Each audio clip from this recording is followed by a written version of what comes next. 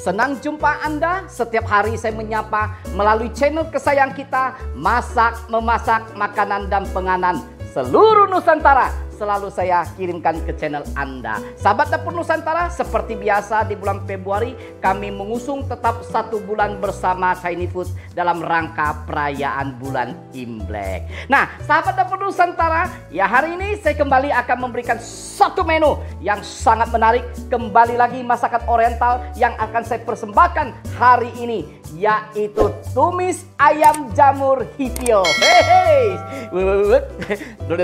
Nikmat sekali. Baik ya, saya akan sampaikan bahan-bahan apa saja yang perlu kita persiapkan untuk menumis yaitu ayam jamur hipio ini. Nah, sahabat dapur Nusantara, bahan yang saya persiapkan yaitu ayam filet dada yang sudah saya potong kotak-kotak, kemudian sejumlah bakso, kemudian ini adalah hipiau yang sudah saya rendam ya. Saya pertama rebus dulu 10 menit, kemudian saya biarkan 30 menit kemudian saya peras, saya rendam dengan air dingin, kemudian sekitar 10 menit saya ambil, saya peras lagi, saya rendam lagi di air dingin hampir dua kali ya. Sahabat dapur Nusa bisa lakukan tiga kali juga bagus. Sehingga apa? Minyak daripada proses untuk membuat hipiau ini hilang dan betul-betul makan sehat dan makan ini adalah makan bergizi. Sahabat dapur Nusa ingin tahu gizi-gizi apa yang ada dalam hipiau? Lihat video yang sudah kami upload yaitu menu sop hipiau uh, sop hipiau jamur ya. Nah, itu sahabatku bisa lihat di sana itu sangat mantap sekali, sangat enak sekali ya. Oke, nah, kemudian sayur-sayurnya saya menggunakan yaitu uh, kembang kol,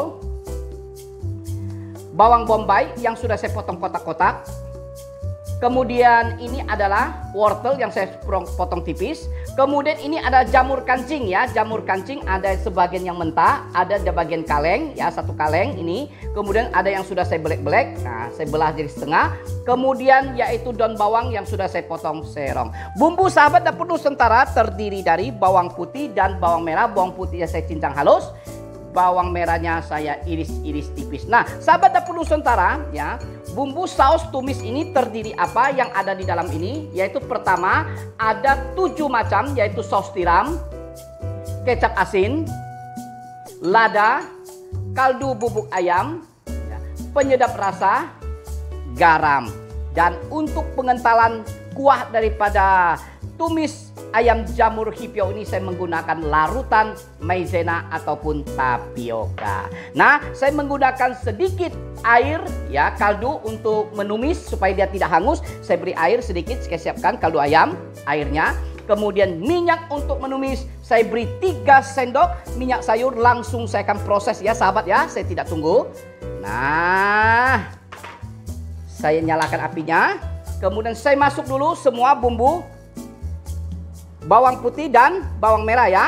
Nah, saya tumis bersama dengan bawang bombay. Nah, saya masuk bawang bombay semua. Nah, seperti ini sahabat ya. Saya akan tumis sampai harum. Kemudian saya akan masuk bahan yang lain. Nah, sahabat ya, biarkan bawang putih, bawang merah sama bombaynya itu berwar bau harum dan sedikit kuning. Nah, ya. Wis harum sekali. Wis mantep mantep. Nah, sahabat, saya masuk dagingnya sekarang. Nah, saya tumis sampai dia empuk ya. Daging ayamnya, kemudian bakso serta hipiaunya ya. Nah, terutama ayamnya. Nah, kita tumis. Iya, seperti ini sampai dia matang. Saya beri sedikit air, jangan banyak ya, sahabat ya. Nah, kita aduk supaya dia dia tidak hangus ya. Nah, sahabat, saya masuk ya. Seluruh bumbu saus ya, saus tiram seperti kecap asin, lada, kaldu yang ada dalam sini, penyedap rasa dan garam yang tujuh macam. Saya tumis sampai dagingnya ini empuk. Nah, seperti ini ya. Ya, so, sahabatku bisa lihat. Wis. Harum sekali. Nah, mulai kita akan masak sampai dia matang. Nah, sahabat, saya masuk jamur ya. Jamurnya saya masuk sama wortel ya, karena ini adalah sedikit sulit empuk. Kita masuk dulu.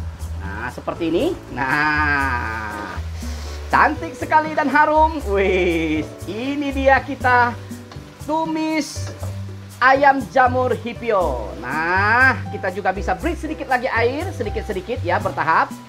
Jangan banyak sampai jangan sampai dia terlalu kering. Nah, seperti ini ya. Nah, ya, terakhir saya masuk daun bawang ya sama kembang kol ya masuk ya. Nah, jangan terlalu lama nanti delodo.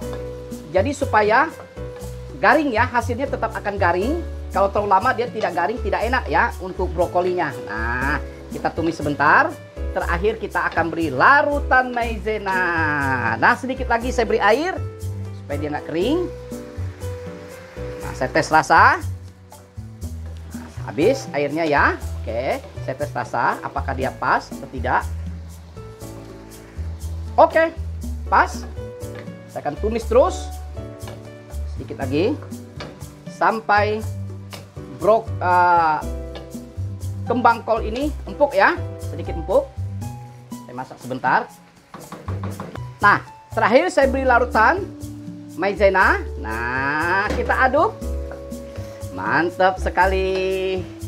Harum sahabatku. Ini dia ya. Ay, tumis ayam jamur hipiau. Mantap dan lezat. Baik, sahabat, saya akan tata di atas piring saji. Sudah matang, saya matikan apinya. Nah, saya angkat ya. Dari piring saji saya masukkan ke... Wih, mantap. Saya tuangkan ke piring saji ya. Ini dia.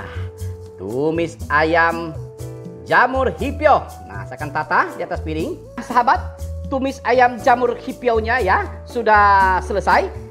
Nah, tata saya beri daun supaya kelihatannya menambah selera. Nah, seperti ini sahabat. Nah, tingkat uji cobalah yang akan kami lakukan agar citra rasa dan kualitas dapat kami pertanggungjawabkan. Ya, oke langsung saya akan coba. Nah, saya ambil beberapa potong sayur jamur. Nah, kemudian saya ambil hipionya. Wih, ini dia yang mantep ya. Makanan yang bergizi.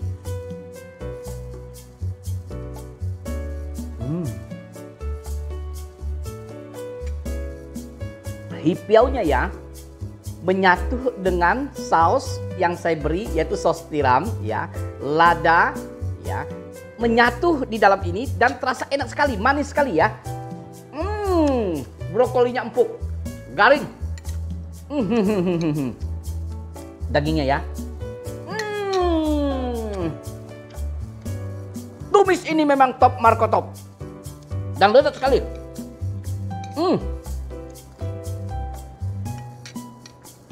Semuanya bumbunya pas, asinnya pas, dapat ya. Gurihnya juga pas.